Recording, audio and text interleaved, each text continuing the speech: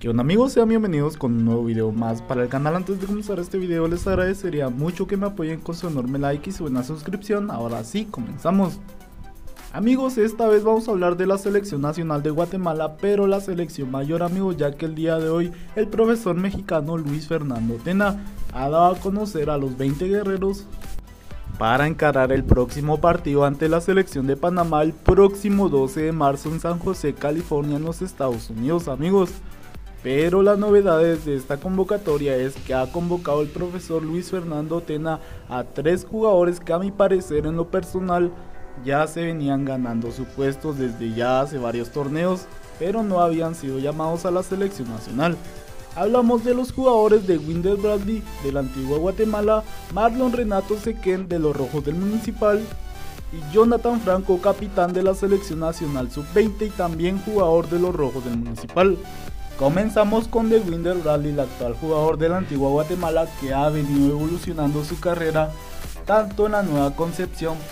En los cremas casi no tuvo oportunidad, pero en la antigua Guatemala sin duda alguna explotó su talento, tanto así que el torneo pasado fue uno de los goleadores del torneo. Y muchos aficionados guatemaltecos querían ver a este jugador en los juegos amistosos el año pasado frente a Colombia y Honduras, pero lastimosamente el profesor Luis Fernando Tena todavía no le había hecho ese llamado. Pero ahora que ya le hicieron ese llamado a la selección nacional, sin duda alguna será una pieza muy importante en la selección guatemalteca en la parte de arriba.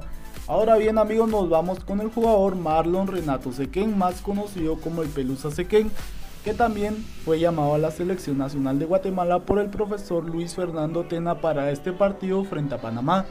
A mi parecer amigos, este jugador es muy bueno ya que ha venido siendo una pieza muy clave en su equipo de la Liga Nacional, hablamos de los rojos, y no solo jugando en el terreno de juego, sino aportando goles, y eso es muy importante para la selección nacional.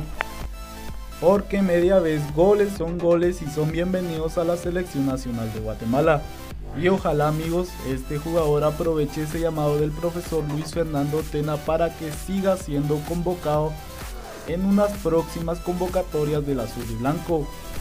Y Jonathan Franco, compañero de Marlon Renato Sequeno en los Rojos, recibe su primer llamado a la selección nacional de Guatemala. Pero en la mayor amigos, ¿qué les voy a decir de este jugador? Sin duda alguna amigos, este jugador tiene una calidad impresionante a sus 20 años de edad. Pareciera que tuviera más años jugando al fútbol porque tiene una experiencia impresionante y ojalá aproveche esta convocatoria también del profesor Luis Fernando Tena y no solo eso amigos le aportaría bastante a este jugador ya que como recordemos el azul y blanco sub-20 tiene participación en el Mundial de Indonesia 2023 y eso ayudaría al jugador para agarrar más experiencia al medirse a los buenos jugadores de la selección de Panamá. Y bueno amigos, yo hasta aquí voy a dejar este video, buenísima onda, pilas.